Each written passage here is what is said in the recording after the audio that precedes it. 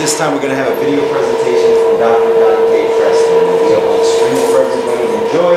And we'll close in prayer.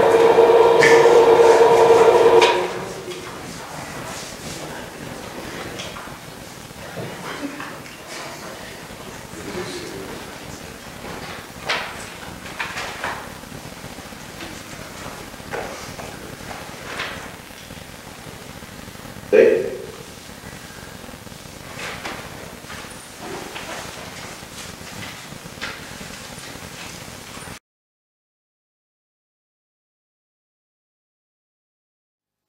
Hello, everyone. My name is Don K. Preston. I appreciate the op- the opportunity and the invitation from Michael Miano from there at the Blue Point Church in New York. I could not be with you in person this year, but Michael asked me if I would be willing to present this DVD presentation on the power of preterism.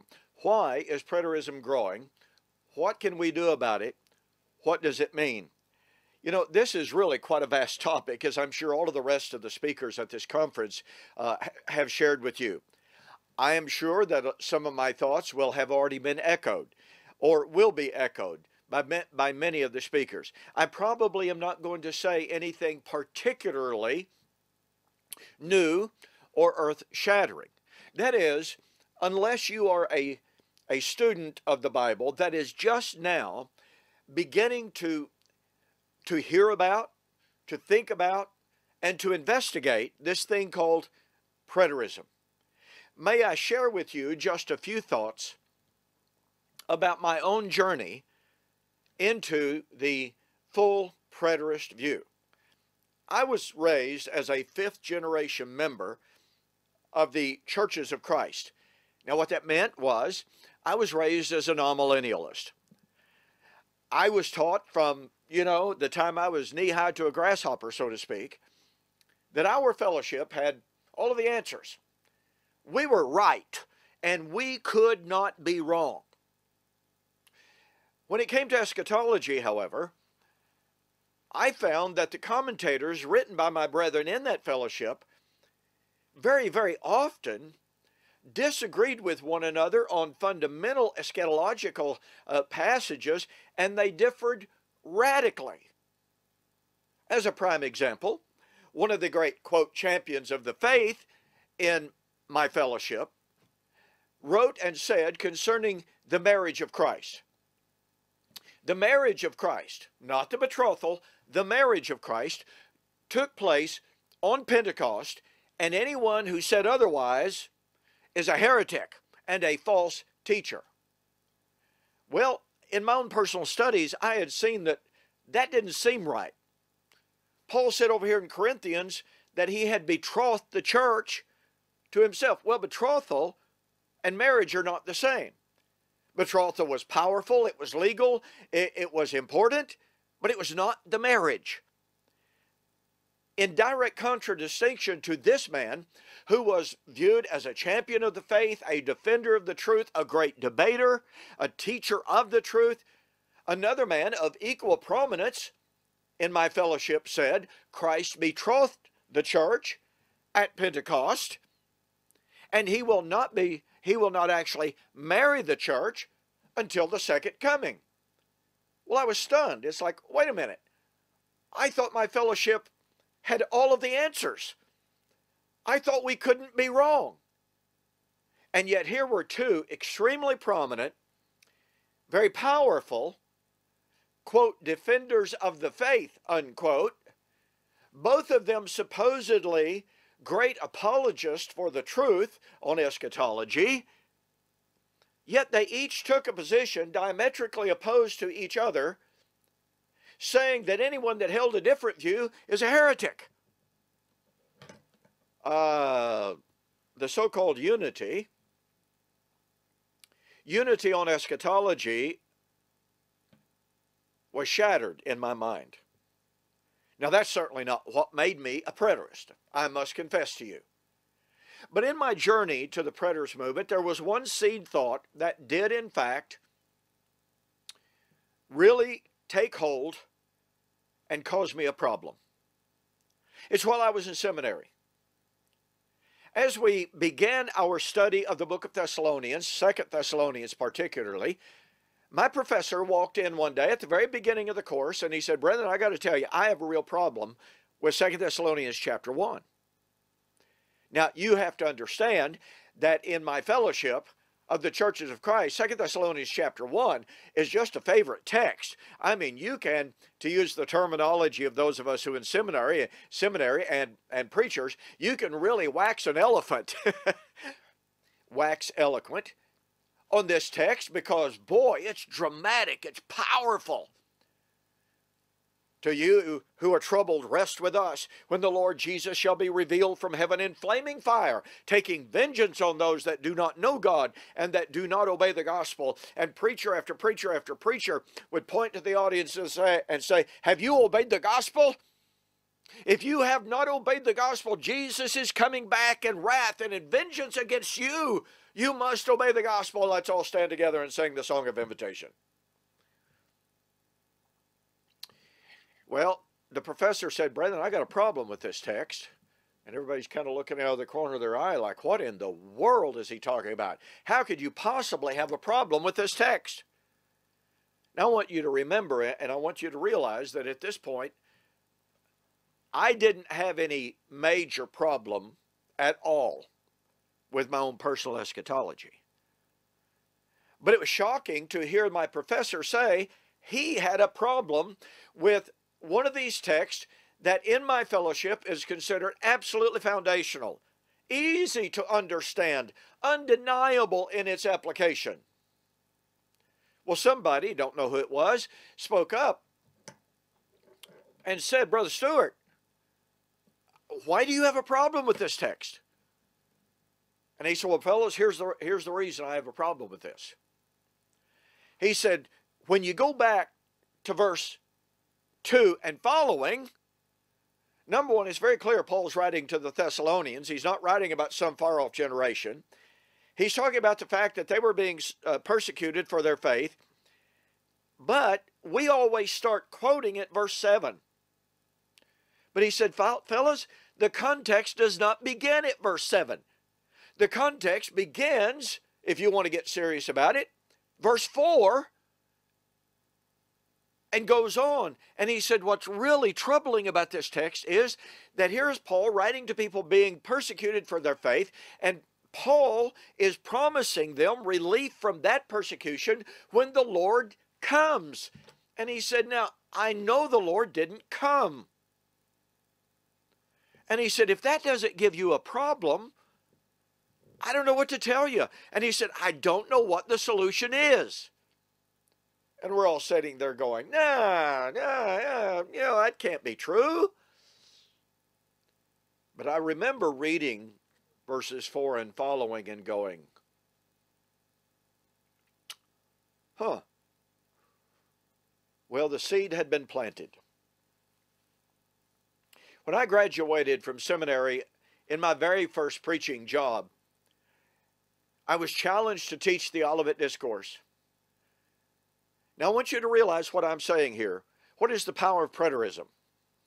Why is it growing?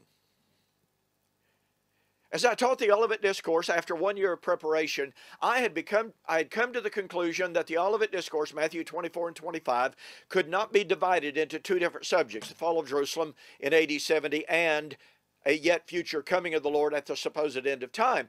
I, I, I, was raised believing that it could be divided. I was raised believing that it had to be divided. And yet here I had come to the conclusion, so radically different from my brethren and from my fellowship, that it was like, wait a minute, where did anyone get the idea that the disciples were asking about two different, uh, two different subjects?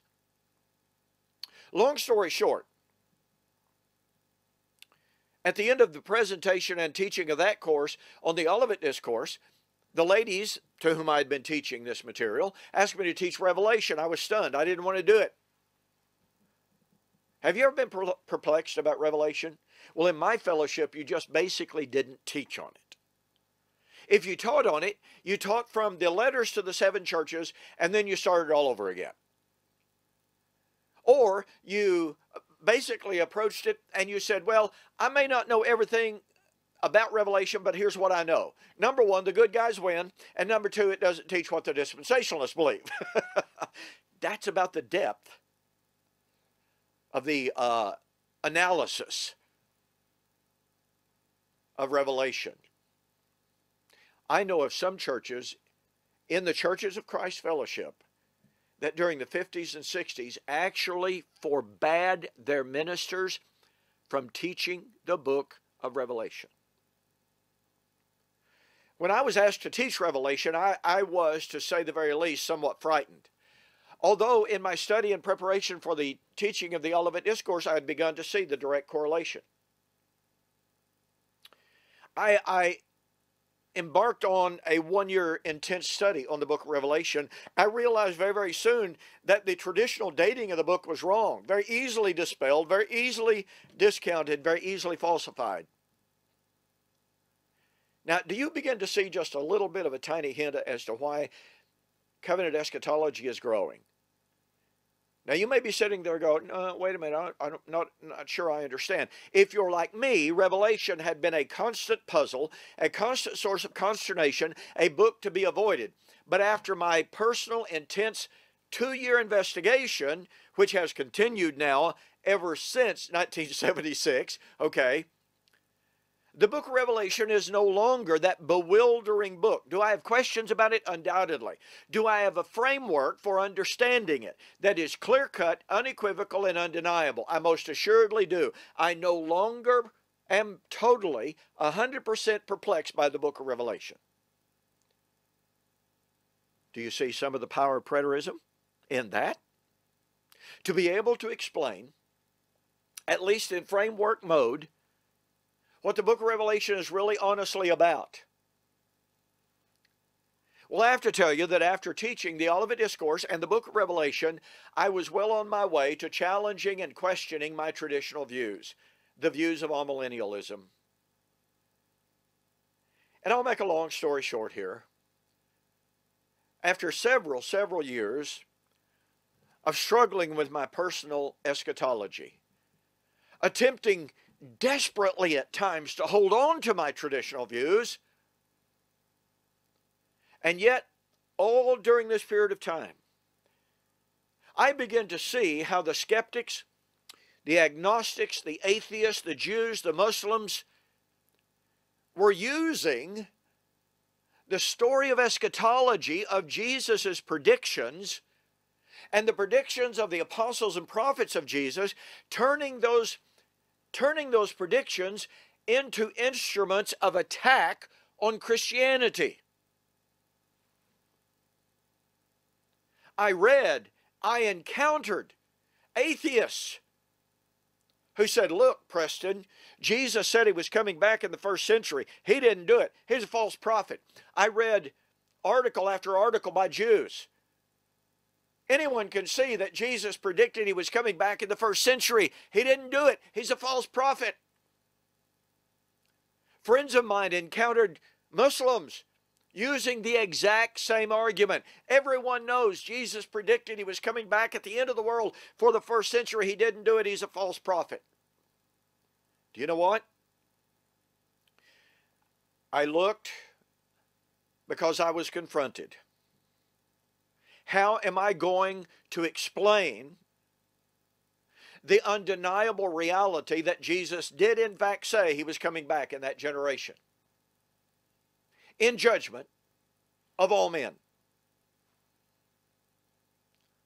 Frankly, I didn't know how to deal with it for a long time. Oh, I tried one day as with the Lord a thousand years, a thousand years as a day, but I soon discovered, and I wrote my very first little track about it, I soon discovered the answer to the question, can God tell time? And the answer is yes, he can. He did. Unequivocally told the truth about time. And you know what? When I begin to see that when God communicated with man about time, and you know what? If you are a beginning student of preterism, I prefer the term covenant eschatology. But you may be sitting there going, oh, wait a minute. Uh, didn't Peter say one day is with the Lord a thousand years, a thousand years as a day? Yes, he most assuredly did. But here's something that's critical to understand about that. Peter didn't cite that prophecy, which is Psalms chapter 90, verse 4.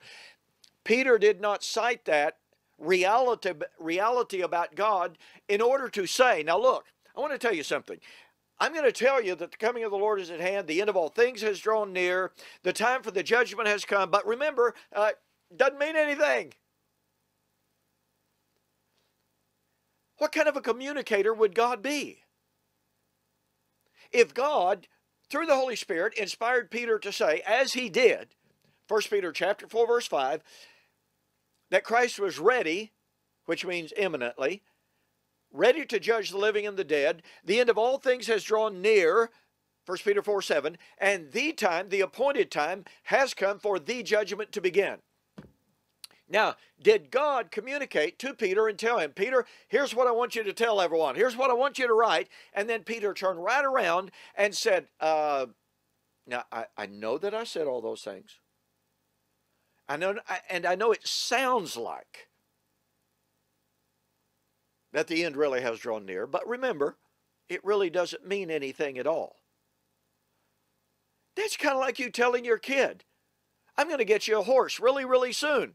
But uh, I don't mean soon at all because you don't know what soon means, do you? really?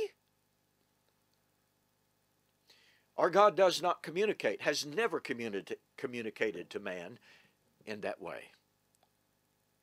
So, my journey, my personal journey, encountered the power of preterism and the reality of the truth of God. That God has always communi- communicated truthfully to man about events that God said was going to happen in man's world according to the calendar that God Himself gave to man.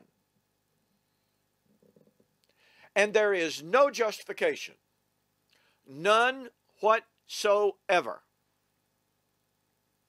for us to go to the time words of Scripture and to try to relativize those things, elasticize, plasticize those things into absolute meaningless. Now, I don't know if you've ever done this or not. And if you're a beginning student uh, of covenant eschatology, I would, I would urge you, I, I would highly recommend that you do this. By the way, if you don't have a copy of my book, Can God Tell Time, please get one.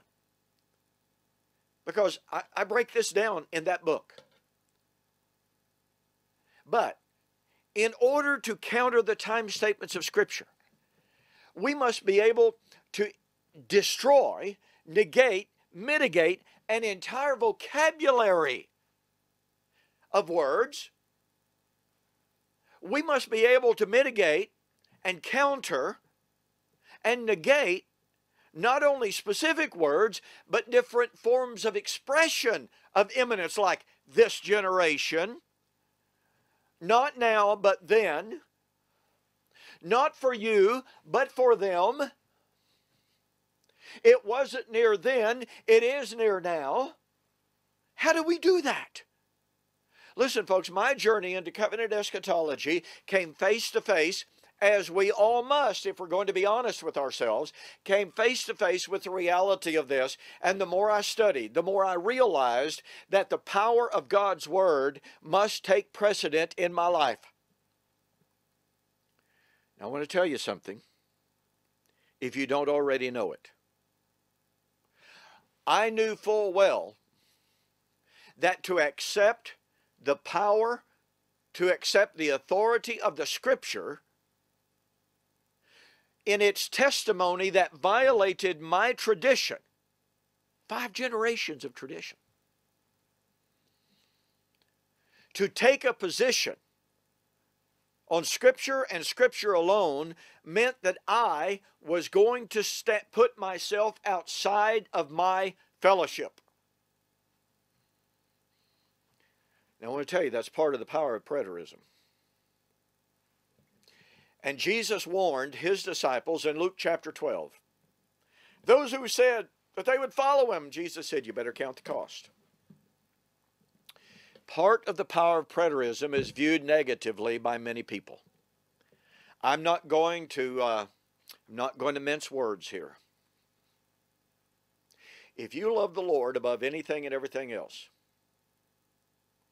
and if you love the Lord and His truth above anything and above everything else, and in your studies, you begin to see the power of preterism, you are going to be persecuted.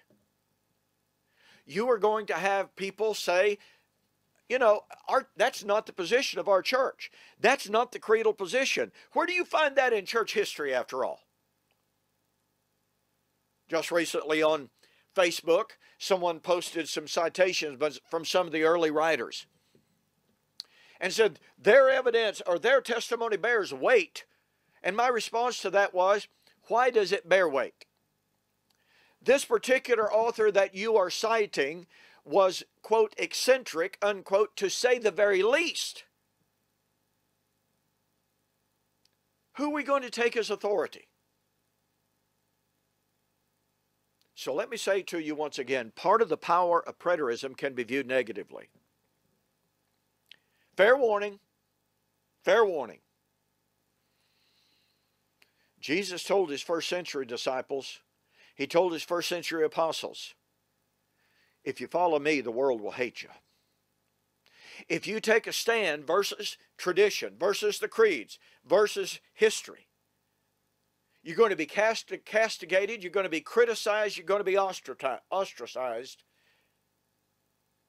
But the power of preterism is that finally, in your own personal life, you are going to have the answers. Are you going to have every answer? No. You know, I get up somewhere between 3.30 and, 3.30 and 4 o'clock every single morning. And I hit the books. And I have to tell you, learning is such an exciting adventure to me. And I have to tell you, right there in my office, uh, where my computer is and where my study resources are, uh, you know, I'll I'll stumble onto some gem that I've never seen before, and it's almost like, yes, wow! And I'll literally get up and I'll pump my fist, and you know, I, I guess I look kind of silly if somebody were to see me, but I got to tell you, the study of God's Word liberates us. It invigorates us and it empowers us in ways that perhaps we've never known before. So let me see if I can systematize just a little bit a bit of the power of preterism in the time remaining. You know, I, I could spend lots and lots and lots of time uh, sharing more with you about my journey into preterism. But this is about the power of preterism, why it is growing. If you are not already aware of the fact, the Jews, the Muslims, the atheists, and the agnostics, as I've already mentioned, continually use the eschatology of the New Testament against Jesus and against the apostles and against the inspiration of the Bible.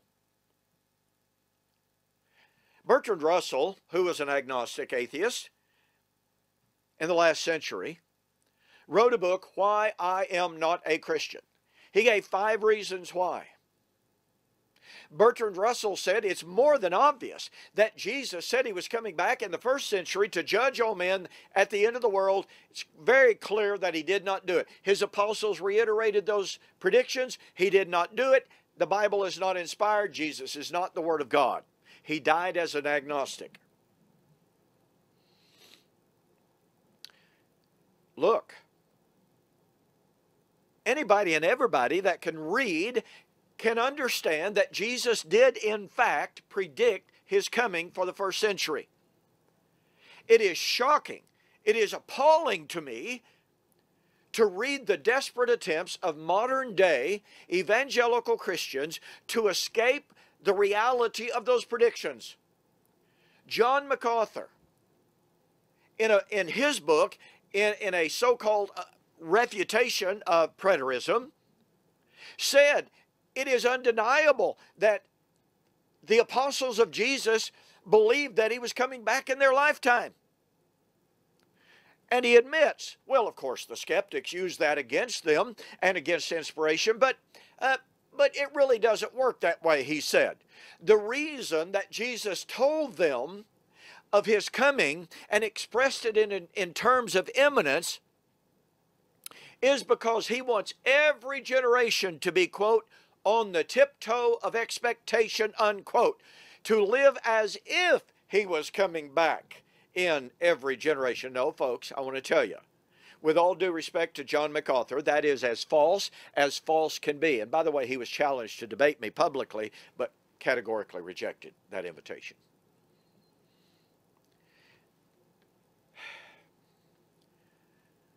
Jesus never said,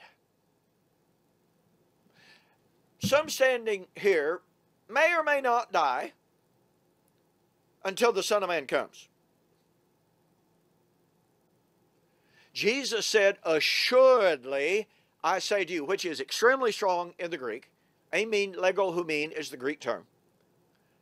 Assuredly, I say to you, there are some standing here 2,000 years ago, which by no means shall taste of death until they see the Son of Man coming in his kingdom. It doesn't get any clearer than that. The Jews, the Muslims, the atheists can read it. Covenant eschatology, preterism, allows us to take that at face value, linguistically, grammatically, contextually. We don't have to apologize for it. We don't have to wrest it and twist it and distort it. Power of preterism is such that we can stand before the world and say, Jesus kept his word. Why is preterism growing? Because people who are looking for answers are finding, pardon me, the answers to this conundrum. People who want to believe, but who are troubled because they see the problem. And they also see this. I, I tell you, this, to me, this is one of the greatest powers of preterism. Folks, you do realize, I hope, how incredibly sad the history of Christianity is in regard to false prophecy and in its misunderstanding and misapplication of Jesus' predictions. When we take Jesus' prophecies in this rigid, woodenly literalistic uh, application and interpretation to demand that he was predicting that one day he was going to come out of heaven as a five foot five Jewish man riding a liter literal cloud at the end of time and the uh, the time space continuum. Number one, we have basically, fundamentally distorted the meaning of his words. We have ignored the Hebraic Old Testament prophetic background of those prophecies, we have imposed a Western, Hellenized, Grecianized definition on that terminology, on that language, and ignored where it came from. And you know what the result of it has been? The result of it has been that in every single generation after the first century, the church has been making one false prediction after another. And I want to tell you, both believers and unbelievers are sick and tired of it. Unbelievers are going, well, there it is again. Another false prophecy. If you want to see it, if you want to see a catalog of the embarrassing history of Christianity. You need to get the book, The Jewish Unveiling of Revelation and the End by Al Garza.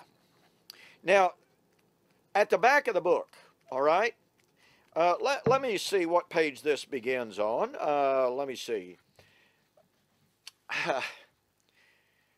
this begins with in the second century, late first century, all right? And the chapter begins extra, extra library of date setters for the end of the world. So, starting here on this page, guess what? to the end of the book, which looks to me to be 30 pages, Garza chronicles one failed prediction after another. Look at it. That's pathetic. All of us are familiar with the failed prophecies, the tragedy and the heartbreak that, is, that has come as a result of that. Harold Camping and all of his repeated failed prophecy and people giving their money away, going absolutely broke. broke. Hal Lindsey and all of his failed prophecies, people giving their money away, going broke, and never a dime of refund by Lindsey or Camping or any of the other camps. And by the way, just recently I received notification by way of email, a preterist in, in England, informing, they, informing me that the Jehovah's Witnesses in England are once again back at their date setting or their dire predictions of the end is near predictions. So much so that they're actually encouraging people to give their goods away. Now, I'm thankful to say that this individual has been sharing my YouTube videos with a lot of these individuals, and they're and they're getting rescued from that. But just about two weeks ago, he told me of another couple that had already given away all of their goods. He was that afternoon supposed to share with them some of my videos. Let me tell you something. Today, you and I as preterists, or you as a potential preterist, have the potential power in our hand to finally bring resolution to this long and sordid history of failed prophecies by showing, yes, Jesus did predict he was coming back in the first century. Number two, he kept his word. I don't have to make excuses for Jesus. I don't have to say, well, yeah, at hand didn't really mean at hand. Quickly, well, that didn't mean quickly, it meant rapidly. Folks, all that is nonsense. I can stand before the world today, and I do stand before the world today as an unabashed, unapologetic apologist for Jesus Christ and for the veracity of His Word. After all, I want you to consider this. Jesus said, John chapter 10, 35 to 37. This is so powerful. If I do not do the things which my Father has given me, do not believe me. Do not believe me for my words' sake. Believe me for my works' sake. Now, folks, that's a challenge. It's a challenge to you, it's a challenge to me. I get so upset when I hear Christians say, well, you know, uh, I don't have to prove Jesus is the Son of God. Jesus said, yes, you do. Jesus said, I do. He had to prove who he was. So don't give me all of this emotively based, emotionally based nonsense. And please, I, am not trying to offend anybody. But don't give me all of this stuff. Oh, I don't need exegesis. All I need is Jesus. No, Jesus said, Don't believe me if I don't do what I tell you I'm going to do. You know what the power of preterism is? The power of preterism is I can take Jesus at his word when he said that in that generation the great tribulation would take place. The Son of Man would come on the clouds of heaven with power and great glory and gather together the elect. You say, but nobody saw it. They did if they had the eyes of faith. They did if they understood that prophecy in the way the Hebraic scriptures explained it. They saw it. But do you see the power of preterism to be able to answer the skeptics? Look, about seven or eight years ago, I challenged a Jewish website who was using failed eschatology to refute Jesus as the Son of God. I wrote them an email and said, I will have a public debate with you on this question Did Jesus fail or not? They wouldn't even talk to me. Because I want to tell you something. If you take this sugar stick of eschatology away from the atheist and from the Muslims and from uh, the, the Jews and the agnostics and what have you, their house crumbles. Jesus cannot be accused of being a liar or a false prophet. I got to share an anecdote with you. For 15 years and more, I had a booth at the Abilene Christian University Lectures in Abilene, Texas. We had a booth there. We would distribute materials. We would have Bible studies with everyone who came along and who would listen to us. And one of the incredible things that happened over and over and over and over again, and we're talking we're talking people with Bible degrees. We're talking about Master of Theology students. We're talking about doctoral students. We're talking about professors in some cases. And they would listen to our spiel, they would listen to our story, and they would offer some objections. The objections would be answered, and they couldn't they could they didn't have an answer. And finally, in desperation, many of them, many of them, I don't mean just a few isolated examples. I mean many of them would literally step back and go, Well, okay, you know, what difference does it make? What difference does it make if he came or if he's coming?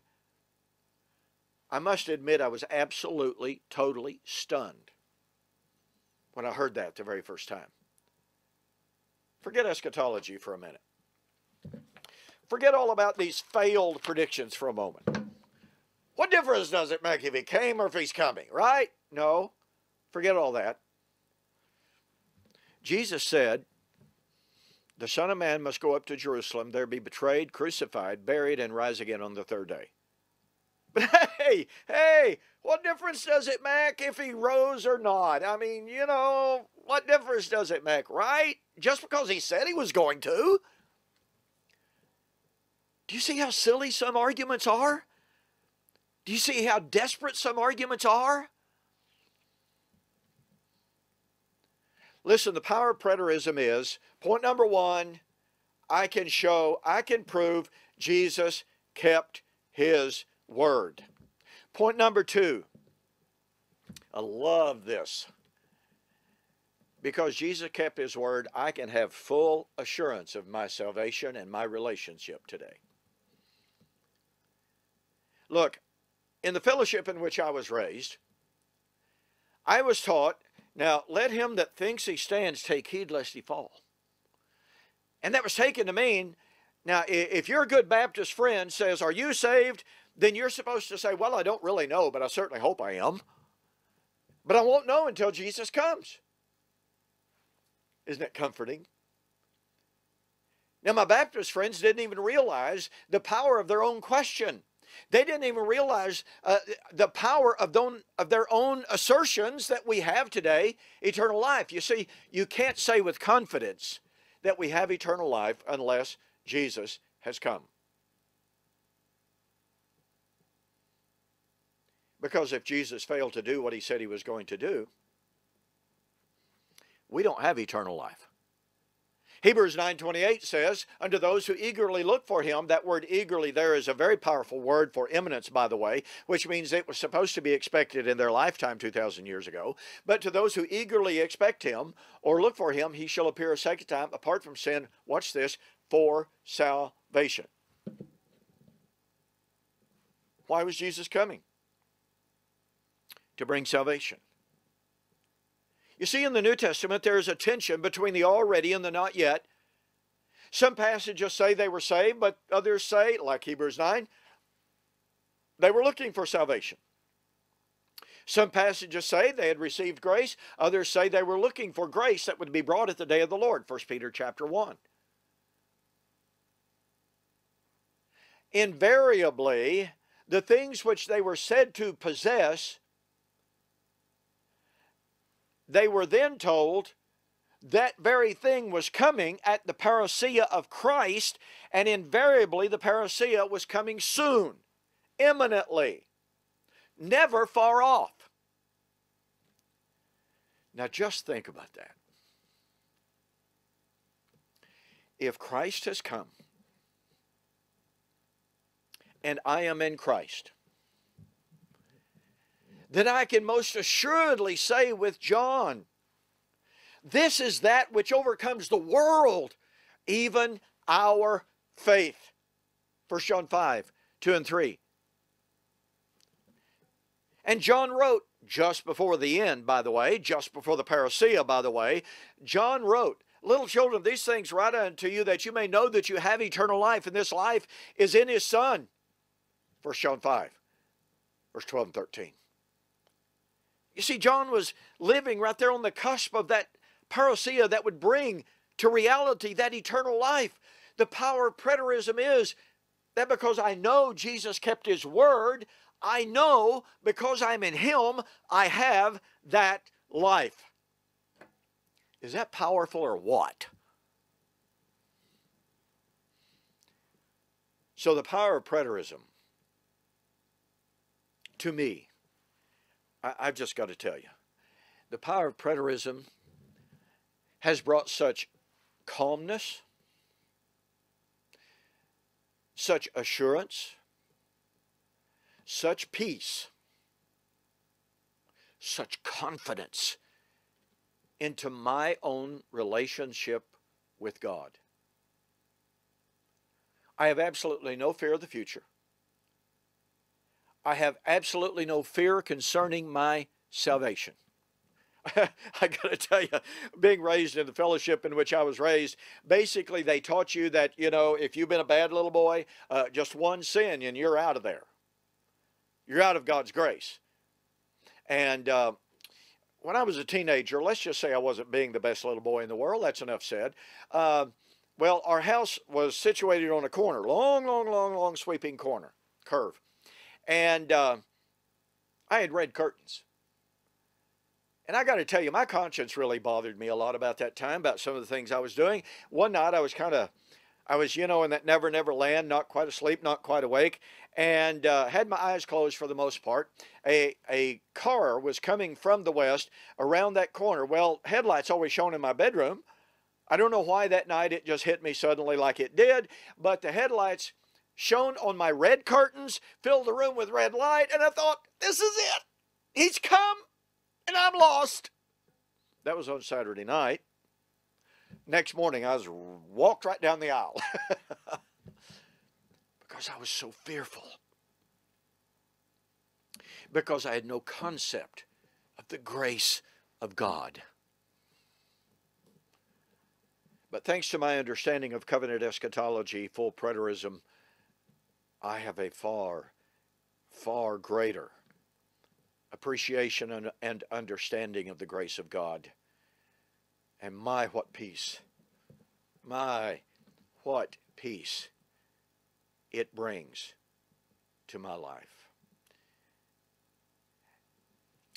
And the third reason, to go back to the first, is the power of preterism is that it, it's really a conflation of point number one and point number two, is that it gives us the opportunity to rescue so many other people from that same fear, from that same discouragement, from that same uncertainty. And let me share something with you that happened just a couple of weeks ago. Now, I hear from people virtually every day.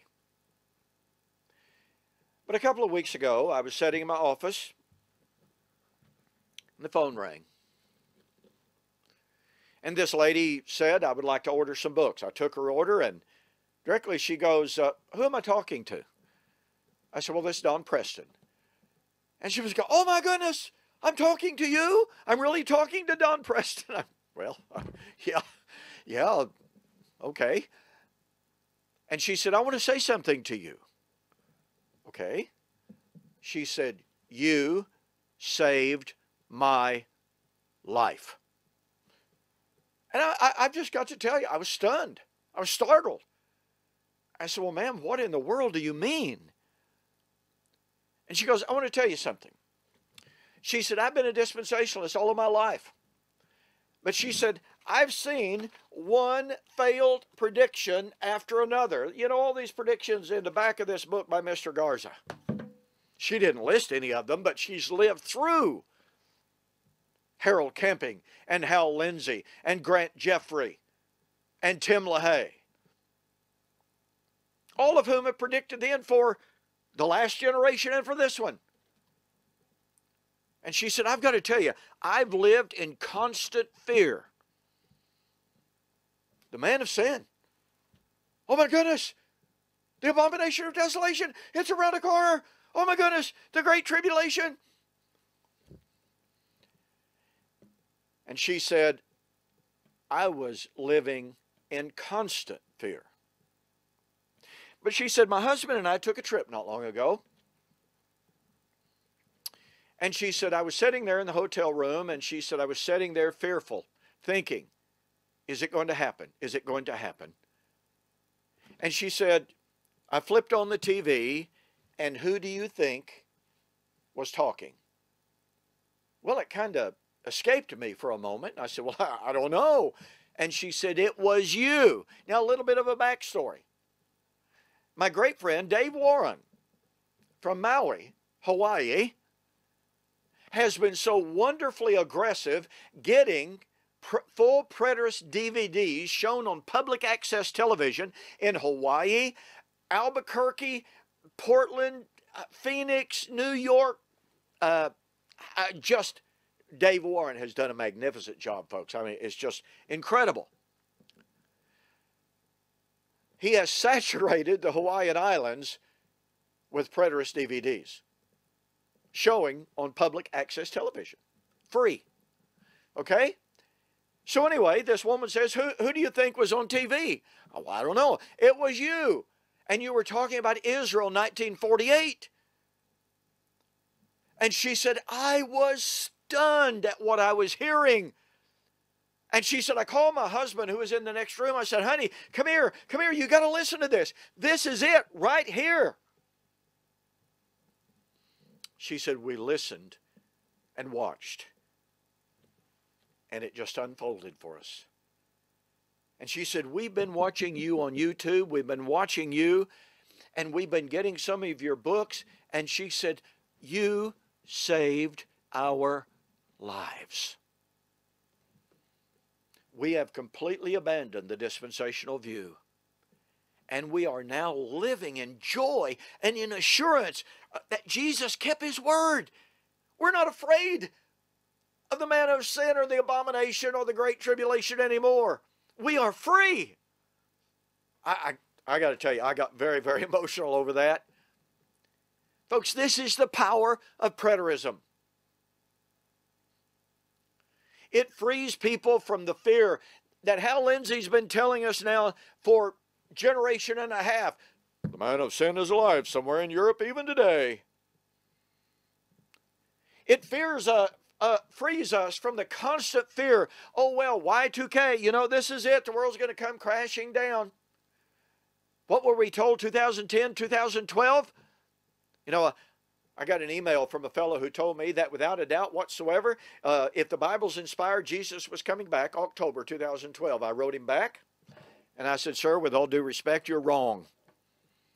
Jesus came back in the first century, and I said, When your prediction fails, I want you to contact me. Well, you know, 2012 came and went. And by the way, he was predicting the whole gamut great tribulation, etc., etc., man of sin, you, you name it. Well, he didn't, did not write me after that did not come to pass, so I wrote him. I was kind, I was gentle, I was respectful. And I said, You had promised to get back in touch with me. He was kind enough, he was honest enough to say, Mr. Preston, you're exactly right. And he said, I'm just shattered. I don't know what to do. And I said, Please, please restudy. There's an email on my desk right now from another gentleman who says, If the Bible is inspired, the Lord will come in 2017. I wrote him back, No, it won't happen. The power of preterism is it frees us from all of that. And even if we're not talking about dispensationalism, it frees us from the view of amillennialism that says Jesus could come back at any moment, burn the world up. And even if you've got the uh, post millennial view, which to be honest about it has no excuse whatsoever for not being full preterist, none. If you read the writings of Gary DeMar, for whom I have the greatest and utmost respect, if you read the writings of Kenneth Gentry, same thing about my respect for him and his scholarship. If you read the writings of, of Joel McDurmon, you know very good and well their writings, their hermeneutic leads directly to the full preterist view. Gary DeMar wrote a book, Why the End of the World is Not in Your Future. Hello?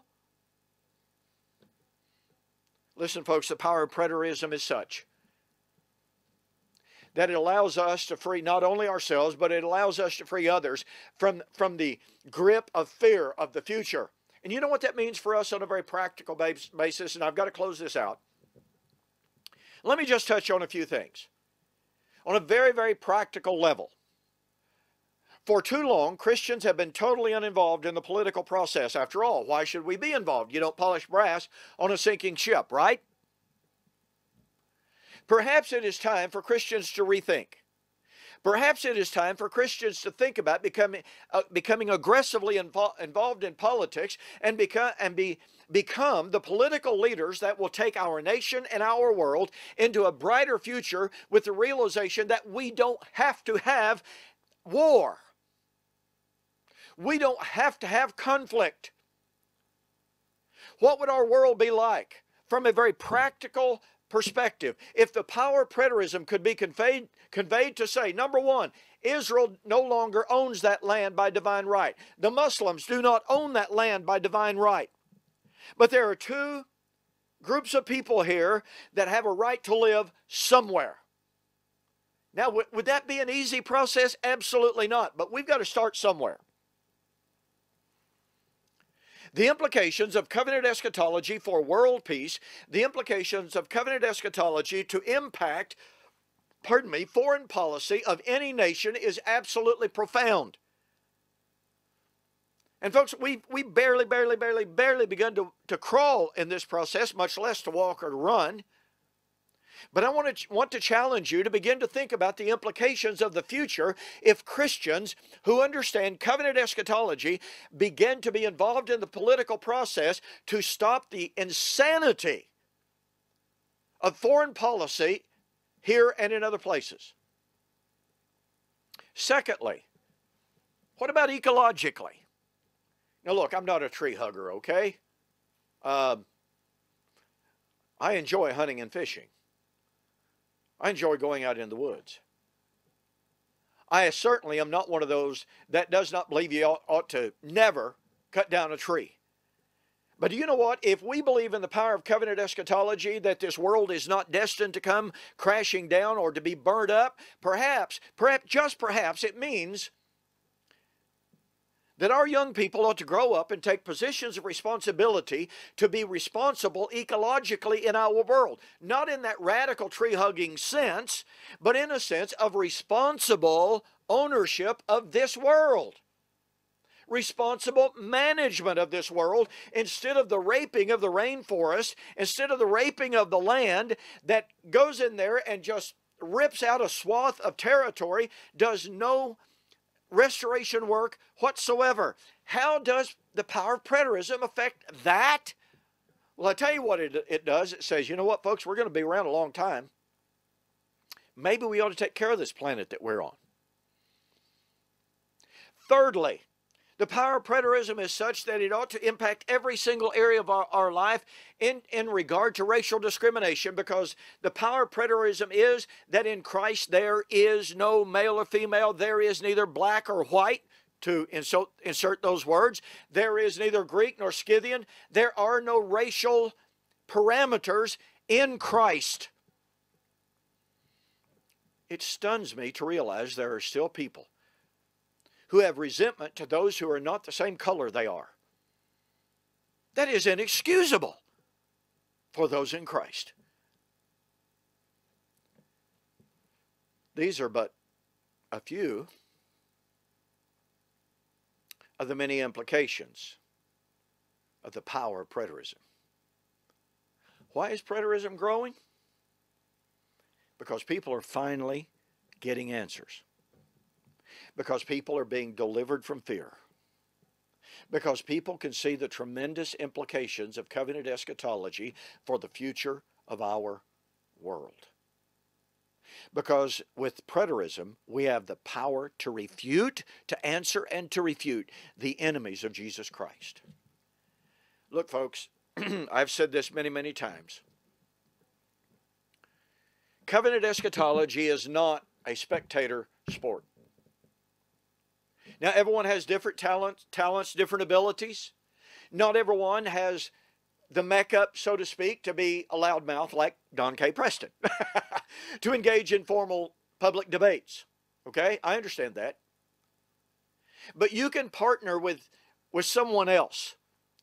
You may you may be able, if you'll please excuse me, you may be able to partner with Preterist Research Institute financially to allow Preterist Research Institute to, to enlarge our outreach and to be able to confront more and more the enemies of covenant eschatology. You may be able, you know, one time I heard one guy say, you know what, you, you may not be a preacher, you may not be a teacher. Your, your only real talent in this world may be that you can take a track, lay it down somewhere, and run. Well, I'm pretty sure you got more talent than that. But you can help spread this marvelous, wonderful, solid truth of covenant eschatology. Why is covenant eschatology growing? Because it's the truth. And the truth really does set us free. Thanks for the opportunity for being with you via this DVD. God bless you. Join with me as we march into the future boldly and with confidence and with the truth of God's Word behind us and with us to transform our world. Thank you.